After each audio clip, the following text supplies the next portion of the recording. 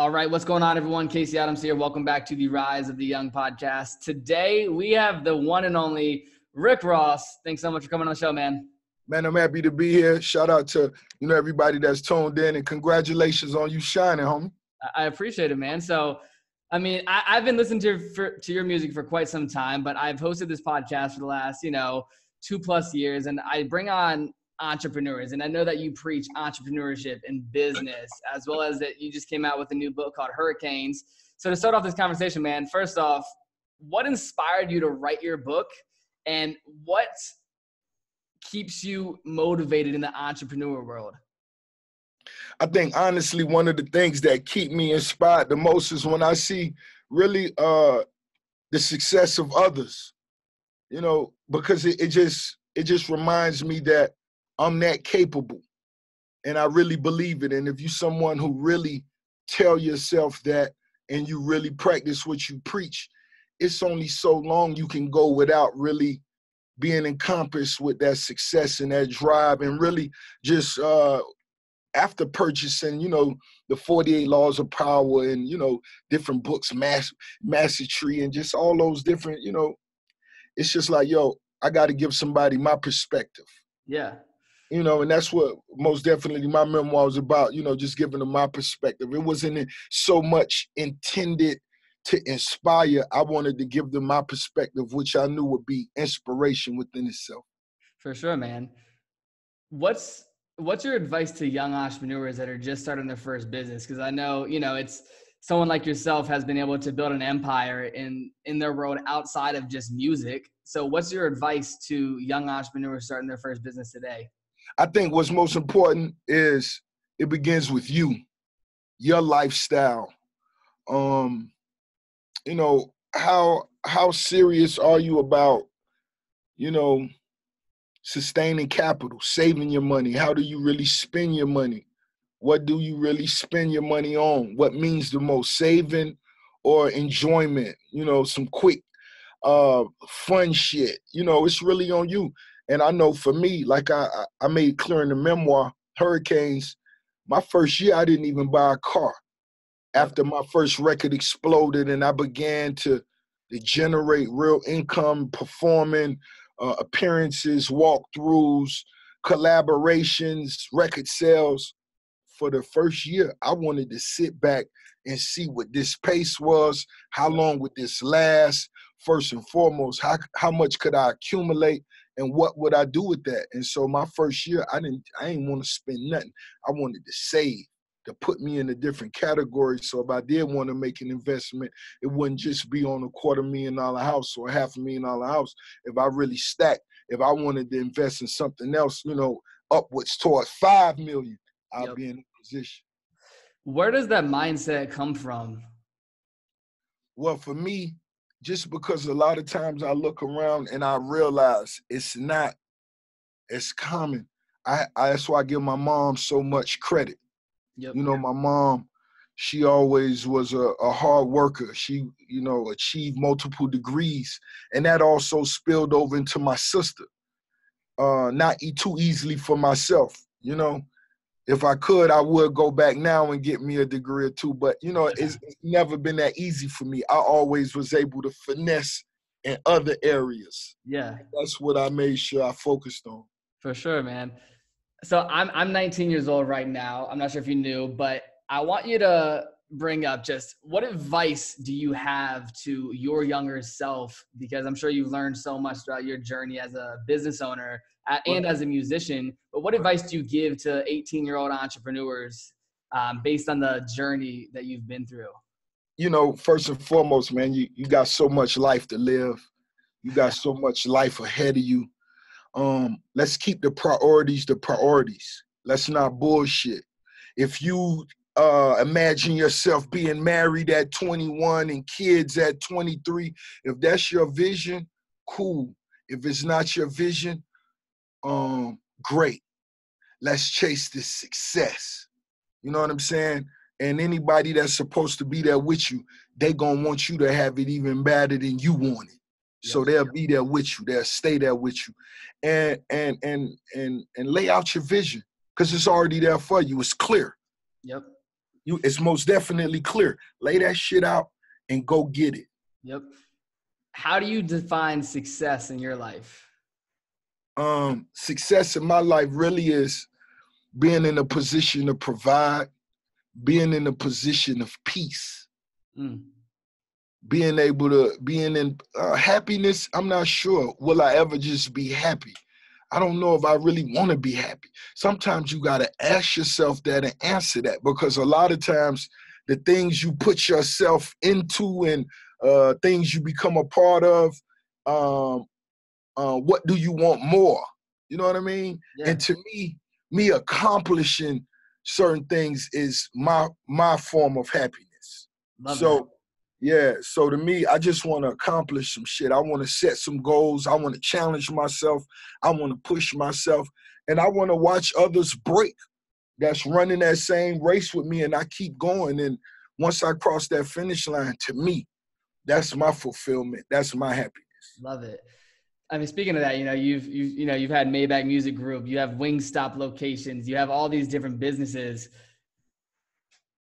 What is your fundamental business strategy when building brands? And when you go to launch something new, like what's your strategy? Because you've done so well with all the projects you're a part of. Um, I think something that I recognize over this pandemic, which was, you know, of course, unfortunate as fuck. I'm not gonna dwell on that. But one thing that I really realized that all of the investments I had in common was basically they they were all essential. Mm. Other than me performing um, for crowds, for me performing for fans, you see the Black Bottle Boys, the Belaire flowing, me enjoying nights out, performing my records that you know I worked so long to create. Other than that, that's the only thing that I really had to to miss or go without, which was the right thing to do. Other than that, Wingstop, the, those locations remained open. Checkers, it remained open.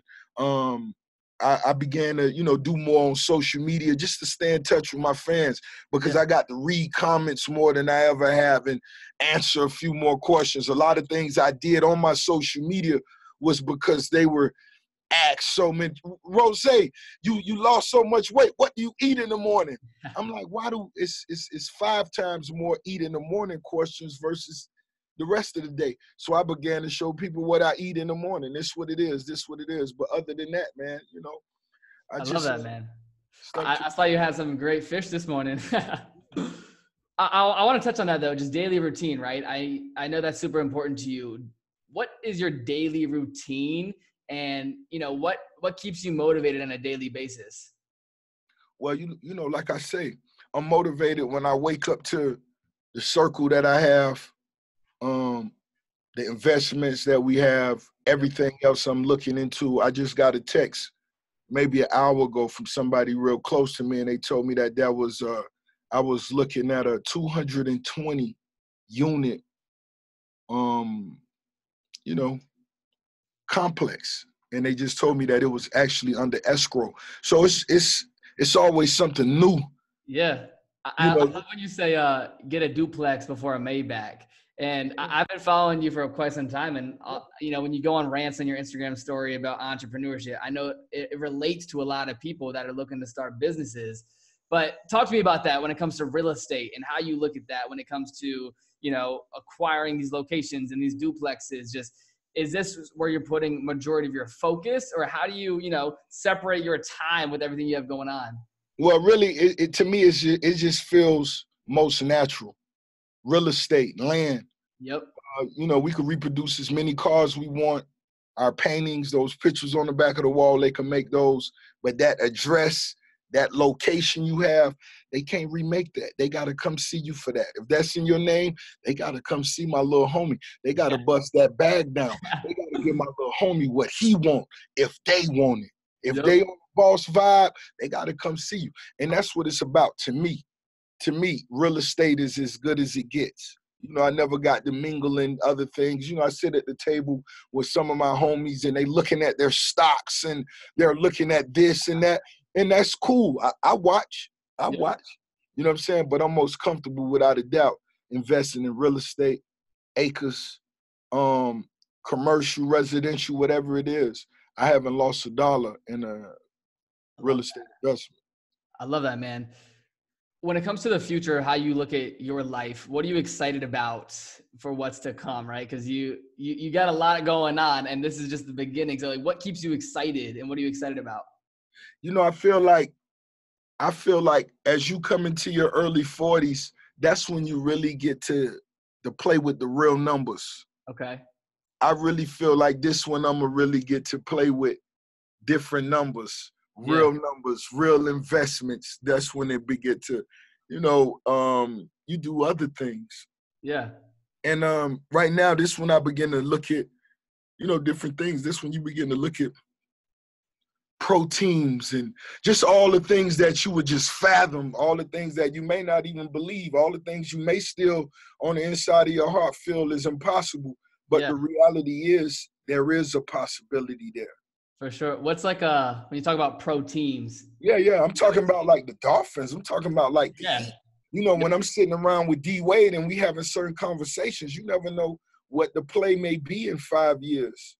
10 years, you never know what the possibilities are. We may have three Super Bowls with Tua, and I may be on the sideline with the Gatorade cup squeezing yeah. it out because I got you know, two percent of the Dolphins. You yeah. never know. That's what's up. Would you say that's a goal of yours to own a part of the Dolphins? Oh man, just being in the game, period. Just being able to to be around the teams that I love, period, would be a dream come true. I love that, man. It, it's funny because um, when when you talk about you know Dolphins or the Heat, do you have you know which one would you rather be involved in if you had to choose right now? I mean, you know, uh, you know, I'm a I'm a huge Heat fan. We all know that. You know, I love the Dolphins from day one. I grew up on Dan Marino. Of course, there was a space. You know, it was 20 seasons between Dan Marino and I feel like where we are today, which is, you know, we just, you know, grab Tua. You know what I'm saying? I feel like he really our first superstar, other than flashes of greatness from running back Ricky Williams or, you know, few defensive players. We haven't had a superstar on the Dolphins since Dan Marino left. I feel Tua's the first first one back that'll really get the city involved, you know, make everybody proud being where they from. And I feel like uh uh our future extremely bright. Yeah. And I'll be there and I'm gonna be throwing it up for the. I'm gonna be throwing it up straight for up. Sure, for sure. I, I have two more questions, man. Um, first off, this conversation has been great, but when it comes to the way you look at the world now, especially what's been happening with this pandemic and how things have shifted, what have you learned about business during a time like this? Because it's something that everyone's going through, right? Maybe people are getting, you know, losing their jobs or their businesses is taking a hit. What advice do you give to people that may be going through some struggles right now? Because I know you've been through a lot in your life. How have you remained, you know, on top through your struggles? Well, you know, that's something that I always always preached. You got to save. You got to prepare for these days. These are the days you have to prepare for, not the days that you assume, you know, will always come the same. Every seven days will always be the same. No, it will not. You know, you come across certain challenges, you come across certain things, and it's unfortunate. But when I think about quarantine and me remaining indoors and, and remaining social distant, you know, for me, that was just like being on house arrest, you know, getting out on bond, man. And, and, and that's what I had to do for almost two and a half years at one time. So um, for everybody that's going through it, prepare for these days. And when you are at home, find something to do. So, you know, I, you know, last week or a week or two ago, I cut my grass for the first time.